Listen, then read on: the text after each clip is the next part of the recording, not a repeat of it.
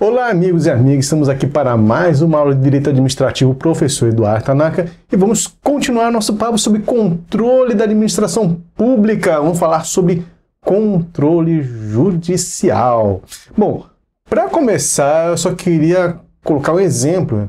Lógico, com exemplo fica muito mais fácil você aprender e aprender a matéria, não é verdade?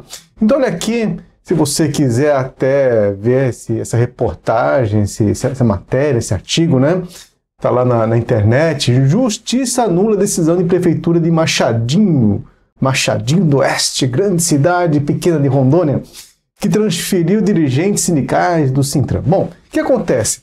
É, resumidamente, é aquela história que eu já falei para você quando nós ensinamos sobre princípios da finalidade. Lembra? Aquela história que o, o, prefeito tem um desafeto político e aí que é servidor, que é servidor lá da, da prefeitura, ou um governador que é servidor do governo, assim por diante. E aí, como punição, ele resolve transferir esse servidor para um lugar que ele não quer trabalhar. Sei lá, transfiro né? De repente o cara é auxiliar de enfermagem, vou transferir lá para um lugar que você não gosta, lá no almoxarifado, você vai ficar lá no meio da poeira dos papéis ali, né? Bom, e aí, o que, que é isso? É um desvio de finalidade, né? Nós já falamos sobre isso. Muito bem. Então, nesse caso, depois, se você quiser dar uma lida, né? É, não foi é, exatamente isso que aconteceu, mas é o que aconteceu foi uma transferência, sim, né? Mas a história, o contexto não está claro, mas o prefeito transferiu sem a motivação correta, né? Provavelmente deve ter havido desvio de finalidade, e aí os servidores que se sentiram prejudicados, eles entraram na justiça, vem cá, né? Primeiro foram lá conversar com o prefeito, provavelmente. Pois é, por que o senhor nos transferiu, né? Mas aí não teve jeito, foram para a justiça e a justiça ela anulou essa transferência, né? Porque essa transferência tinha apenas interesse político, ou seja, interesse pessoal, provavelmente, e não interesse público. Está aqui a sentença, né? ele fala, o juiz, ele fala, é disso que a administração pública possui autonomia para praticar atos por conveniência e oportunidade. Legal, atos discricionários, né? Todavia, essa discricionalidade não é absoluta pois que não pode correr a revelia do ordenamento jurídico, podendo o Poder Judiciário declarar a nulidade do ato em caso de abuso do poder e manifeste ilegalidade, como é o caso dos autos. Aí ele fala com efeito indubitável que o ato de relotação dos servidores para local diverso exige motivação, consequência dos princípios da legalidade e da moralidade administrativa, sendo, portanto, nulo o ato quando os motivos de sua prática não condizem com o interesse público demonstrando apenas lá o interesse político, né? a vontade do, do prefeito. Bom, então você vê um poder anulando um ato de outro poder. E nós já falamos sobre isso, não falamos? Falamos. Então a dica, antes de você assistir essa aula, você pega lá, tá aí no, no seu YouTube, aula 109, atos administrativos, coloca na busca, aula 109 Tanaka, ou aula 109, atos administrativos, vinculação e discricionalidade, professor Eduardo Tanaka.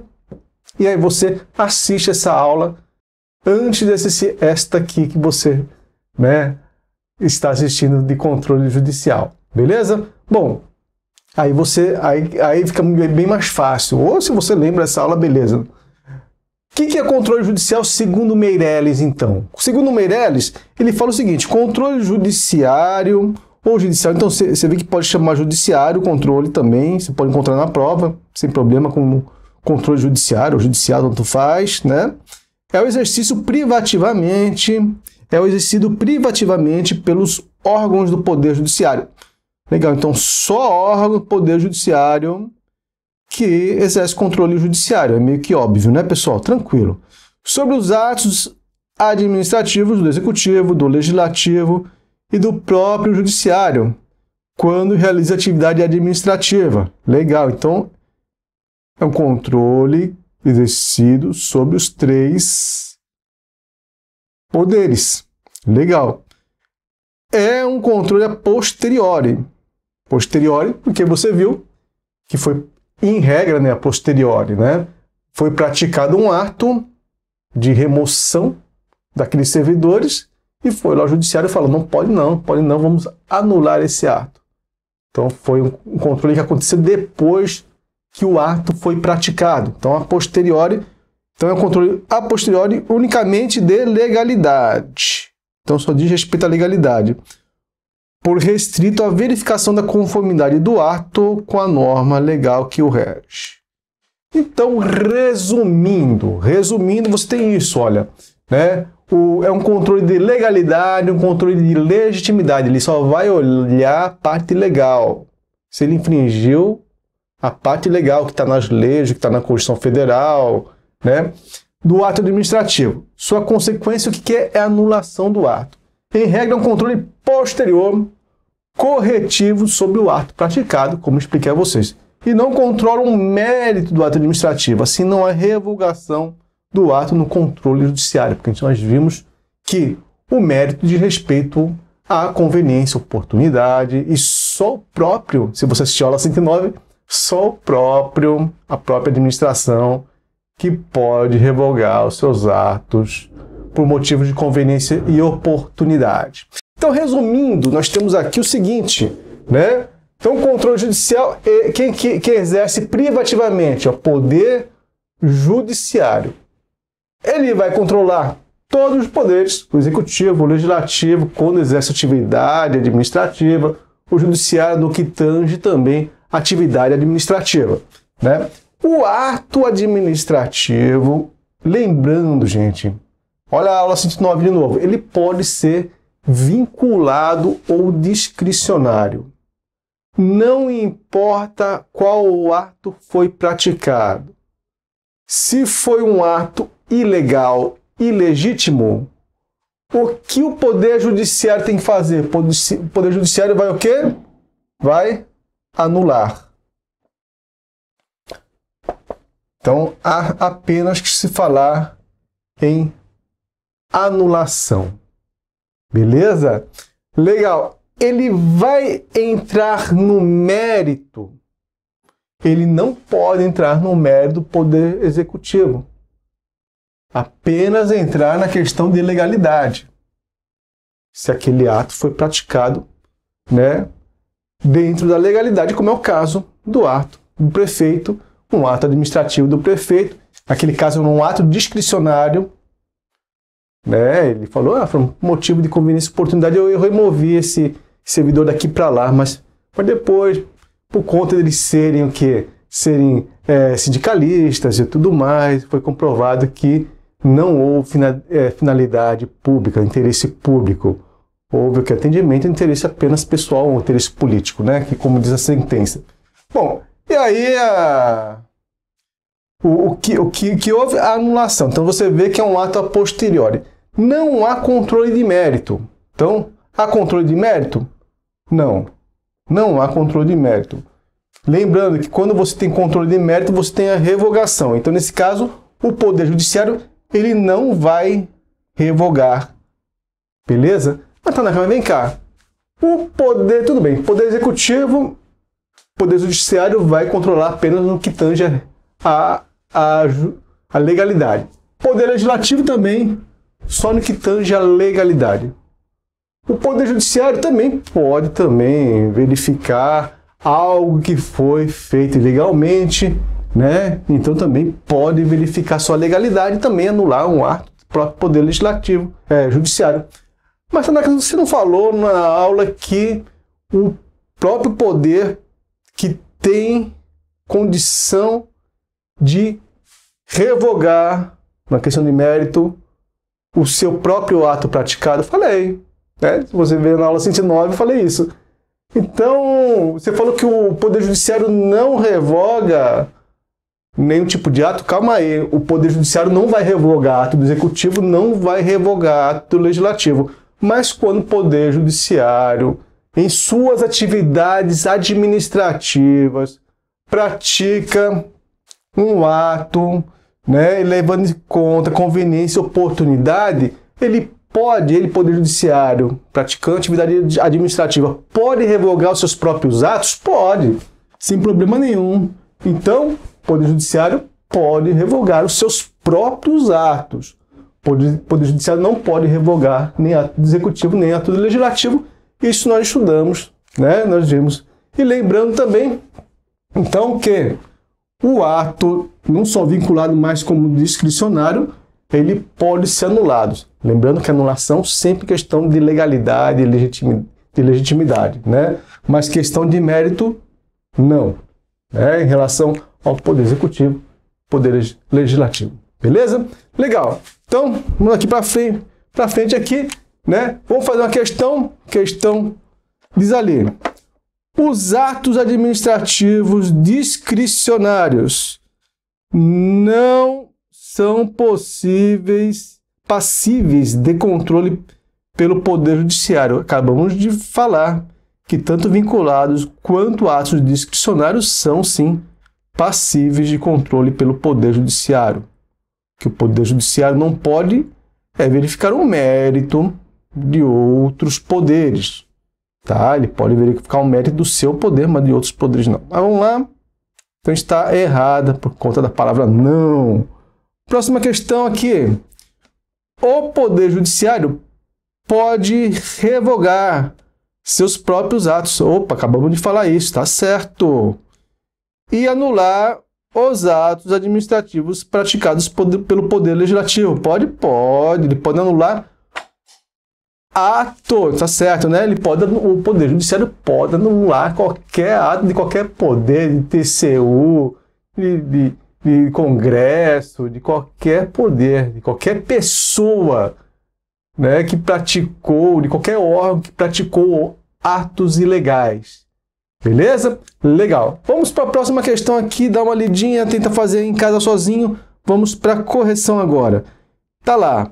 Fundação Carlos Chagas, ele fala sobre controle e responsabilização da administração pública é incorreto. Quando vem a palavra incorreta, você já fica esperto, já grifa ela na hora do concurso, para você não perder o bonde aqui, né?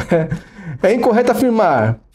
Tem a, ao Poder Judiciário é vedado apreciar o mérito administrativo e, ao exercer o controle judicial, está restrito ao controle de legalidade, legitimidade e legalidade do ato impugnado. Olha, essa aqui está meio certa, porque não fala vedado apreciar o método administrativo. Está meio certo porque ele pode apreciar o ato administrativo dele próprio, lembra disso? Mas vamos ver, né? A gente tem que trabalhar com a questão, é, questão de múltipla, múltipla escolha, às vezes tem uma mais certa ou a mais errada de todas, né? Então é assim mesmo, fazer o quê, tá? Bom, mas vamos segurar a tá? Eu acho que não é a A incorreta, tá? Vamos lá. B.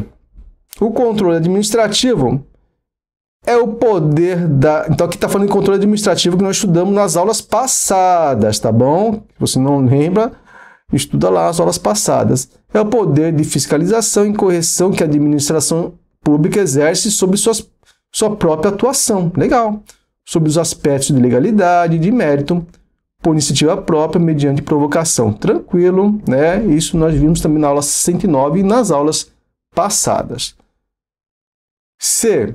O controle que o poder legislativo exerce sobre a administração pública tem que se limitar às hipóteses previstas na Constituição Federal. Tá certo, estudamos poder legislativo nas aulas passadas também.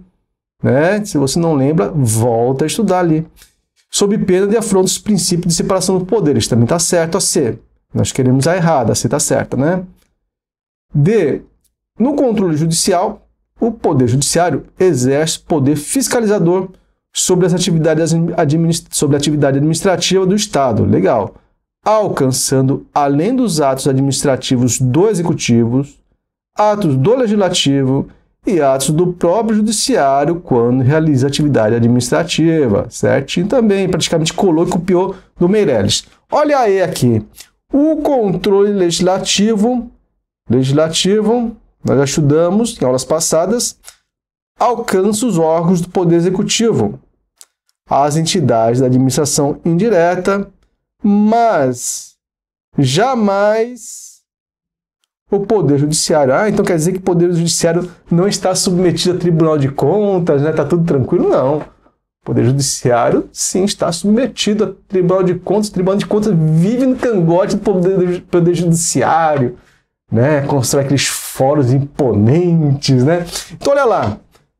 Ele falou: jamais o Poder Judiciário, mesmo quando esse último executa a função administrativa, então está errado. Ah, então a mais errada, obviamente, é a E, que está errada. A está certo, ele considerou certo, tá? Beleza? A ele considerou certo.